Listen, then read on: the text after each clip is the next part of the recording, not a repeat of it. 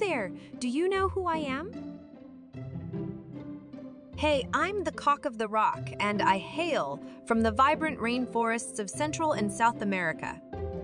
My all time favorite food is delicious fruits and insects. They make my feathers shine with bright colors.